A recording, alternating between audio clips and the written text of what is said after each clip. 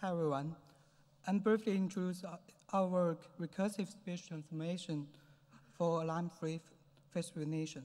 Face recognition is one of the most important applications of computation. As figure below, con conventional face recognition pipeline it co contains detection, alignment, and recognition.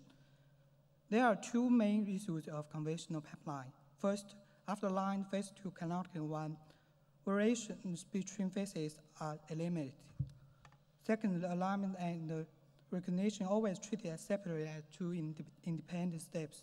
Our work inspired by spatial transform networks, and we designed a, a, a hierarchical recursive spatial transform networks to do face recognition. The spatial transform network can automatically learn and optimize optimal transformation for, for classification tasks. As shown in the figure, our approach consists of two parts, the recursive spatial transformation followed by the decision classification. The spatial transformation layer produces the transformed feature map by sampling from the input X according to the spatial transform transformation parameter theta.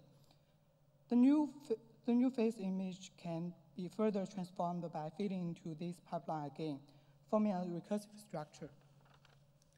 This figure compared ReST with STNet. Compared with last two rows, our ReST, ReST align face much better than STNet.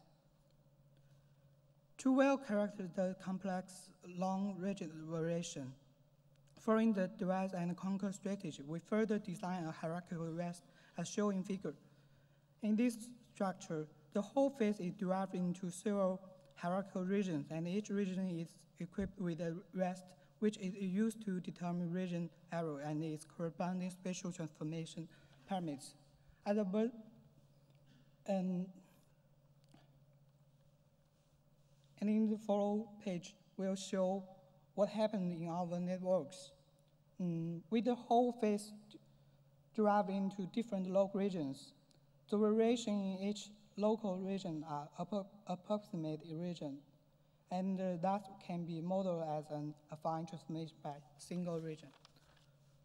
Compared with the same architecture, which use two-step methods, our hierarchical ReST structure improved 14% under the OpenSet identification protocol.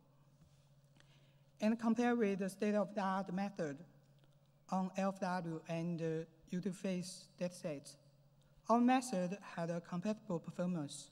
Among these methods, only FaceNet and our method are not pre-aligned, and our method outperform FaceNet even with much less, uh, less training data. Besides, our method outperform DeepFace and VGG, and is compared to DeepID2 Plus, which ensemble about 200 networks. Thank you.